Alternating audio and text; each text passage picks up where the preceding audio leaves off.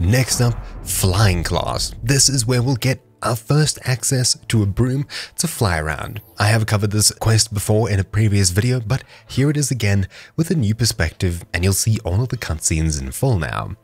If I locate the quest on the map, you'll see over here on the far east by the bell tower wing, we have these here. For me, I don't have any exit close enough to here, so I'll travel all the way from the north exit all the way back to Hogwarts. It's a short jog, but it's much better than running through the entirety of Hogwarts. So turning around to head back in, over to the right is where we're going. Also, I think I'll pass a Floo flame here just to activate it.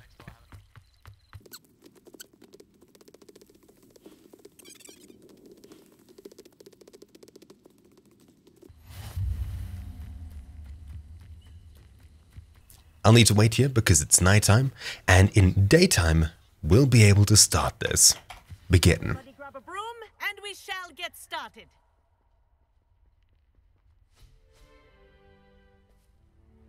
Mr. Clopton, your attention, please. Sorry, Madam Kagawa.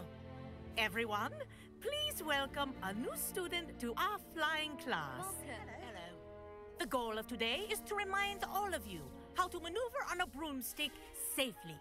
As broom flight is, first and foremost, a means of transportation. This, I fear, some of you have forgotten. Diving, rolling, and loop the loops will not be taught or, in fact, tolerated in this class. We'll leave that to professional Quidditch players, like the Toyohashi Tengu. Not a fan, I take it? Now, let's see how well everyone kept up with their practice over the summer holidays. For those who need a refresher, step up to your broom, say up firmly and clearly, then kick your leg over and rest your weight on the seat. Up! Thank you. Now, your turn. Up, Up. up, you stupid ratty school broom. Now, here you'll have a short quick time event. Just flick your mouse up, Up. And I'm pretty sure we have another one coming up. One leg over, so there's a leg on each side. None of that side saddle nonsense. A gust of wind will throw you right off.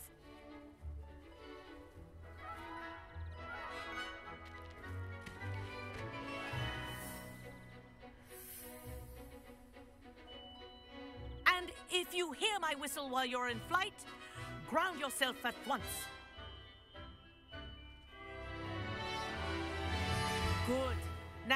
Awesome. Let's start flying around. This section may be a little bit laggy as we're exploring tons around the castle, loading in lots of new areas. So if the video stutters, you know why. Return in one piece. Very simple. Well done.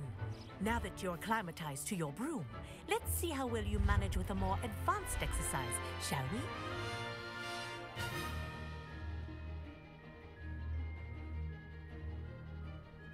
This next set of rings will take you around the grounds for more of a challenge. What have you? Hello. Nice day for a flight. That wasn't too bad.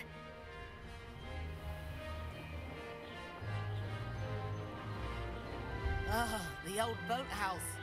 Wish you could have experienced crossing the lake as a first year.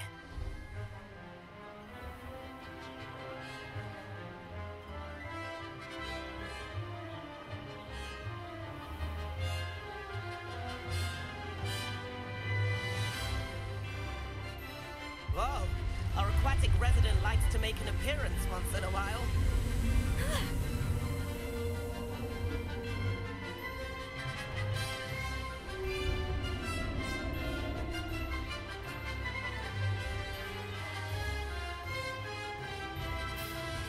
This is rather fun.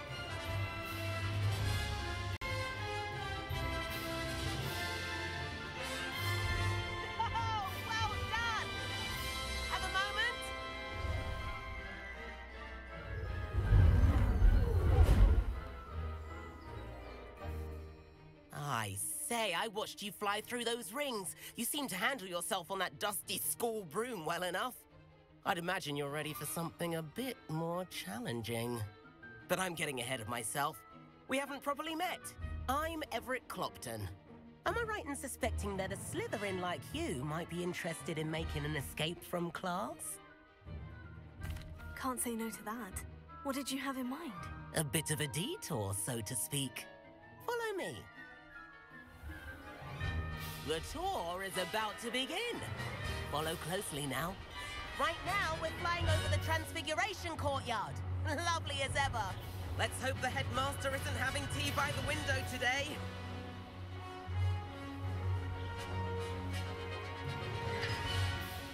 Nice to get above it all, isn't it? Ahead of the gardens, the Hufflepuff common room windows just peek out. Bit claustrophobic for my taste. How is Everett flying so quickly? Here's something handy to know. Lean forward for a burst of speed. Helpful if you need to escape a tricky situation. Now that's more like it. You sure you're not part hippogriff? So left click to lean forward and get even more speed. It's a nifty little trick.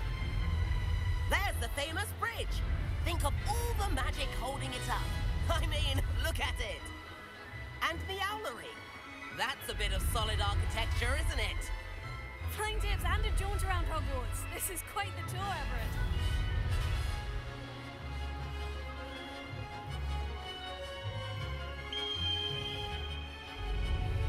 That's Kagawa's whistle. This concludes our tour. Let's hurry back. I don't know how he's descending so fast, but whatever.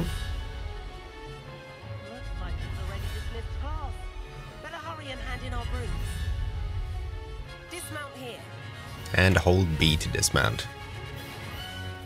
And where have you two been?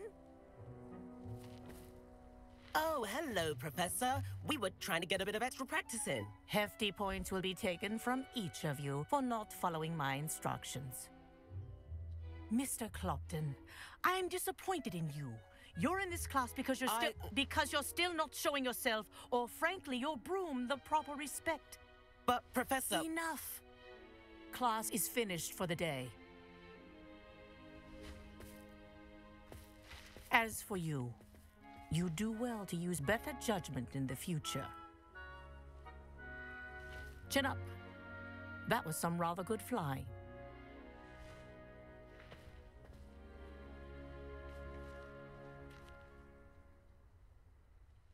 Sorry about that business with Kagawa.